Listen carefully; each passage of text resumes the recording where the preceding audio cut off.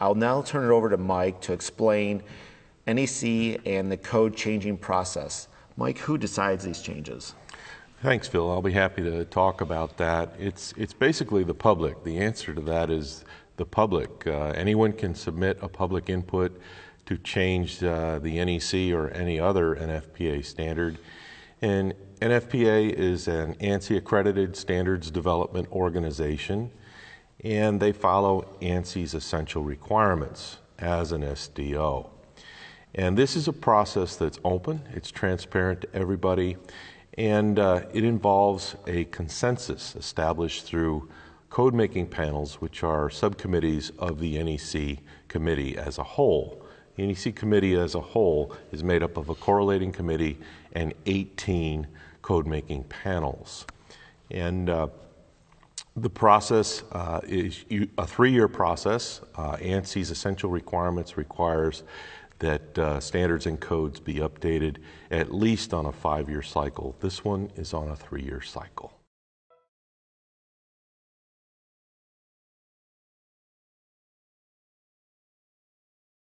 Uh, Mike, I understand there are some articles that were added and deleted, and there were some that were combined. Can you speak to this? Sure, I'd be happy to, Phil.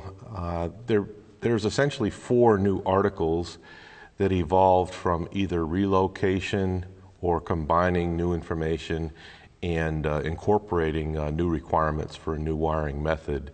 Article 242 uh, addresses uh, over protection, and really it's the combination of former Article 280 and former Article 285.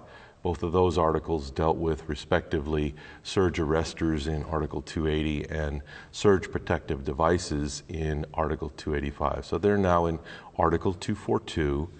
And uh, Article 311 actually evolves by combining the over 2000 volt provisions in Article 310 with the installation and construction specification requirements in former Article 328 dealing with medium voltage conductors and cables.